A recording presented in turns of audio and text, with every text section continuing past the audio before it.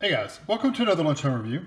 Today I'm going to try one of these new young seafood. This is the Admiral's Fish Pie.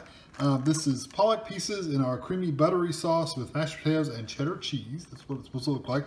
This one is actually from Britain. I mean, it's a Britain brand. Um, so I don't know if they're actually made in Britain, but that's what they say.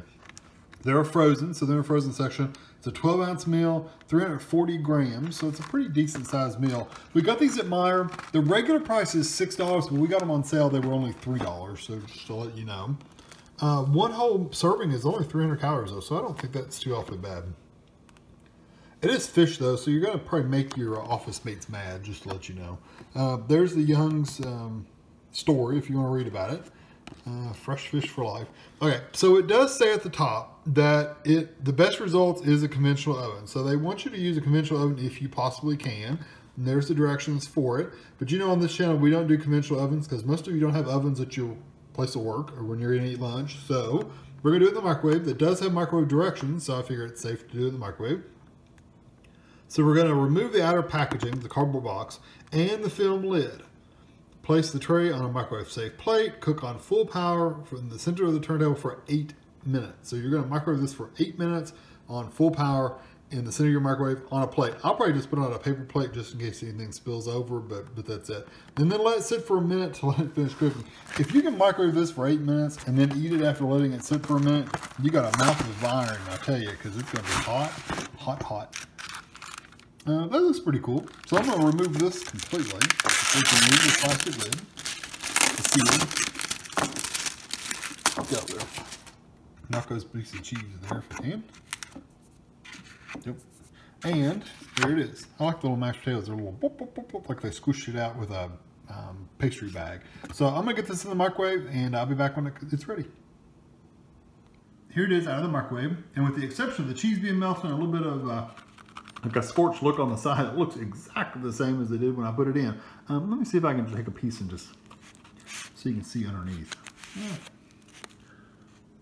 Trying to hold the tray. Hold on. Get my finger down here. Okay, it looks like uh, mostly mashed potatoes with a layer of something down here. See this right here? So I'm gonna let this cool off a little bit. Uh, the potatoes feel good. Um, anyway, I'm gonna let this a little bit. I'll be back when it's uh, when I'm ready to eat it. I am gonna say um, the smell of the meal is not too off the bat. It smells like tuna is what it kind of reminds you of. Uh, potatoes and tuna. So if you're uh, if you're cooking this in an office environment, people might not like you, but at least it's not as bad as some I've had. I've had some that were really fishy. This one's just a little like you had a tuna fish sandwich or something, or tuna salad or something like that. That's what this is kind of like. So here we go. Um, I can't tell if it has fish in it. I think it does. I really can't tell. It all looks the same. Yeah, had a little, little piece of fish in there. Not bad.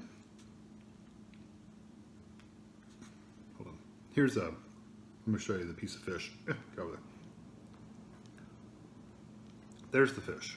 You see it's kind of a grayish kind of color, kind of like tuna.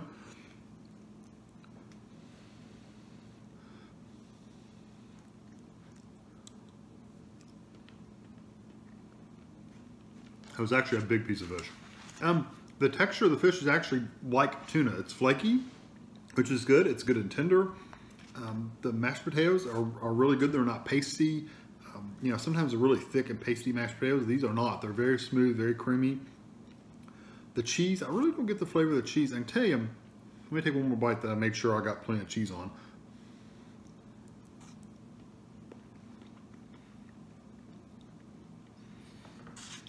Hmm. You taste the fish, which is again kind of like tuna and water. Um, so you get the fish flavor and you get the mashed potato flavor. I really don't get the um, the cheese really. Um, I mean, I, I, might miss it if it wasn't there, but it doesn't like stand out as oh that's cheese. Um, but you really do taste the. It's like mashed potatoes with uh, tuna mixed in it, which sounds completely weird over here in America. We would I don't know if anybody would ever do that. Put put tuna in with mashed potatoes with some cheese on top of it. Uh, that's what it tastes like though. So it's a little different for an American taste. Um, over in the UK, they might eat this kind of stuff all the time, but for here, it's a little different. It's not bad, it's just unusual. Um, the size of the piece of fish is decent. It seems to be quite a bit of it in here. so I'm going to call this meal good but odd because I'm not used to the flavors. Um, number wise, why would I give it a number? Hmm, that's going to be hard because I'm, I'm literally basing on my taste and my experience. Um, I think it's a little bland for for what it is. It's just like I said, potatoes and like fish, tuna fish, like flavors. Um, so it's a little bland. It really doesn't have any um, savoriness. It doesn't have any spice to it. It doesn't have any um, any other flavors than those two flavors mixed together. If you like tuna and mashed potatoes, it's great. Um, if you don't like either one of those, you wouldn't get this. It needs some spice though. It needs something in addition to just that. It needs the cheese sauce needed some some spices in it. Maybe um, some garlic or some onions in it or something. Something's missing. Um, it's just kind of plain. So I'm gonna give it a three. I think the quality of the meal is really good. The, you get a huge amount of mashed potatoes and, and there's fish pretty much in every bite. So if you like uh, if you like fish, you get pretty decent sized chunks of that pollock fish in there. But the flavors just need to be better. So I'm gonna give it a three. Um, definitely worth trying if you if you like tuna and you like mashed potatoes. Definitely worth trying out. Like I said, it's odd for an American, but but try it out. You might like you might actually love it. I'm gonna try to put some salt and pepper on this, see if it um, see if it changes the flavor a little bit. Um, sodium wise, this meal already has 750 milligrams, so I probably won't add any more salt to it. I don't think salt would really change much anyway, but I might try some pepper, um, maybe just a little bit of onion powder or something like that. I'm gonna try some more flavoring on here just to bump it up a little bit because it is pretty bland. So three is what I'm gonna stick with. Hope you enjoy this video. Thanks for watching. All right, I'm gonna tell you what I did. Tastes much better now. All they needed to do, added a sprinkle of pepper, just regular uh, pepper, and a little bit of garlic powder, sprinkled that on the top, and it much, much, much better flavors. They, um, the seasonings, I mean, this brings out the flavor of the potatoes, and even the fish is really good. Yeah, so a little bit of onion. Either they could put onion in the actual meal, mix it up, like green onion, scallion, something, anything, or just put some onion powder in there, some seasoning. So anyway, still gonna give it a three as it is.